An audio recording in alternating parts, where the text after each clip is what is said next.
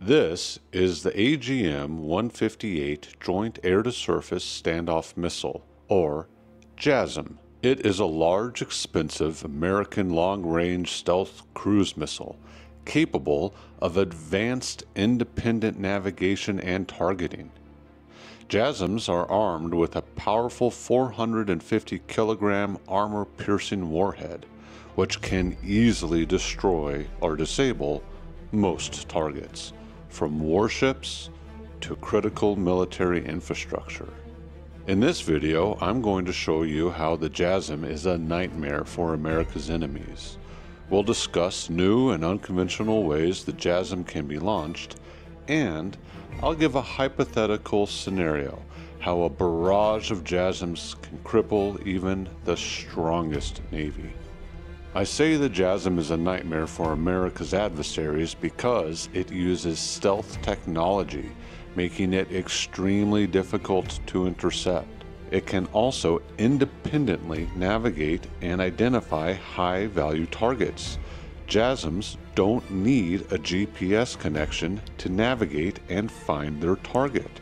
So, they're basically invulnerable to electronic warfare, and they're nearly impossible to target by air defense systems.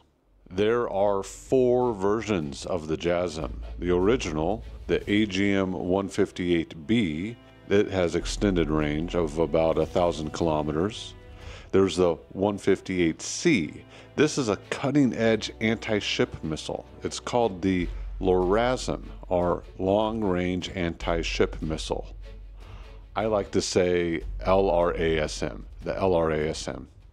And then there's the latest version, just released. It's the 158XR, or Extreme Range. With its top range, it's still a secret, but we can assume it's over a thousand kilometers. A quick note about the LRASMs. They are one of the most advanced weapons in the entire world. The LRASM has incredibly advanced stealth technology and even better targeting capabilities than JASSMs. Apparently, its stealth is so advanced that it defeats radar detection, of course, but it also can't be detected by infrared or heat sensors. So, an air defense system can't even target the heat from its engines.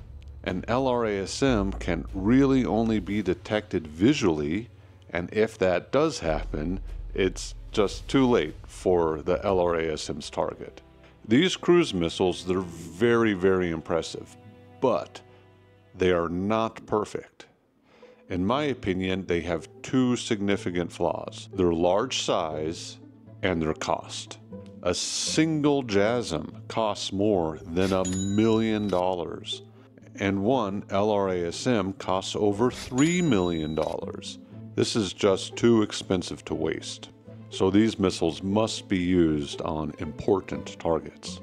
Their large size and their heavy weight is another issue. Some fighter jets, like the F 16s, are actually too small to carry JASSMs. And other fighters, like F 35s and F 15s, they can only carry two JASSMs. Now, American bombers, they can carry 20 or 24, depending on the bomber. With China's recent massive military buildup, the U.S. realized that they needed a new solution. They needed a cost effective method to quickly launch lots and lots of JASSM cruise missiles. So, the U.S. Air Force developed a solution the Rapid Dragon missile system. The Rapid Dragon is a computerized pallet system that is designed to be airdropped from a cargo plane, turning a cargo airplane into a cruise missile bomber.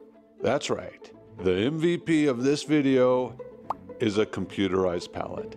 Please don't click away. Please keep watching. Let me show you how cool the Rapid Dragon is. The Rapid Dragon is a revolutionary system that can be configured to fit either six or nine AGM 158 cruise missiles. The computer on the Rapid Dragon can give the missiles all the targeting data that they require for their mission, so there's no need for additional training for aircraft crews. For example, a smaller cargo plane, like the C 130, can carry at least two Rapid Dragon pallets with six missiles each, making an ordinary C 130 into a cruise missile bomber with a payload of 12 missiles, much more than what an F 35 can carry. The Rapid Dragon is even more impressive when they're launched from a large cargo plane like the C 17 Globemaster. A single C 17 can carry five pallets of nine missiles each, meaning a C 17 can launch 45 JASSMs. It's worth mentioning that the U.S. has routine cargo flights in the West Pacific between bases in Japan and Okinawa, Guam, and the Philippines. Rapid Dragons make it possible that any one of these routine flights could actually be a bombing mission. Additionally, the U.S. is developing more missiles that can be launched from the Rapid Dragon. U.S. defense contractor Anduril has developed the Barracuda cruise missiles.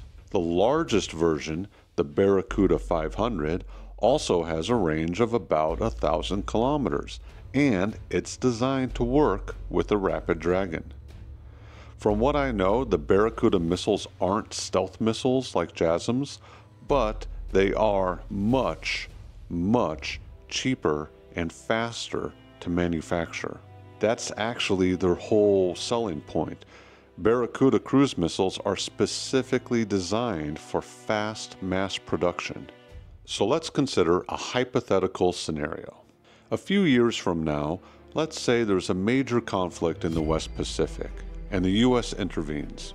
Taking off from the American territory in Guam, the U.S. Air Force flies five C 17s, a very safe distance from any adversarial force. These five C 17s fly to about a thousand kilometers to their targets. That's when they each drop five Rapid Dragon pallets. They launch 90 Barracuda cruise missiles, armed with electronic jamming warheads instead of explosive warheads. The mission of the Barracuda missiles is to confuse and overload the capacity of enemy air defense systems. Behind the Barracuda missiles are 135 stealthy JASSMs they sneak past the confused enemy air defenses and they slam into their targets with 450 kilogram armor piercing warheads. This destroys or disables many high value targets like air defense systems and even warships. Imagine a hundred warships, each costing about a billion dollars, taking years and years to build, disabled or destroyed in just a matter of minutes. All this is from only five C 17 cargo planes flying a thousand kilometers away. The U.S. operates over 200 C 17s. This scenario shows just how much force the U.S. is preparing to deliver in the West Pacific. Of course, in the event of an actual conflict, the U.S. would also have aircraft carrier groups nearby, as well as stealth fighters and stealth bombers doing secret missions striking targets deep into the enemy territory. It's clear to me that the Rapid Dragon was specifically developed to counter China's huge military buildup. And considering that it was named after an ancient Chinese weapon, the Chi, the message to the CCP isn't very subtle. I truly believe that the best way to maintain peace is diplomacy backed by military strength. Peace through strength. I would love to see Taiwan and the U.S. maintain its great relationship and continue to have a strong, mutual beneficial relationship in the foreseeable future. Thank you so much for watching. If you enjoyed this video, please consider subscribing. It really helps the channel grow. An extra big thank you to all of my channel members. Thank you so much. You are all amazing, and I am extremely grateful for your support. Thank you so much. Let's hope that we can maintain peace in Taiwan and the world as a whole becomes more peaceful. Every single one of us want to live in peace and prosperity, and we want a peaceful world for the future generations, right? Peace. Love. See ya.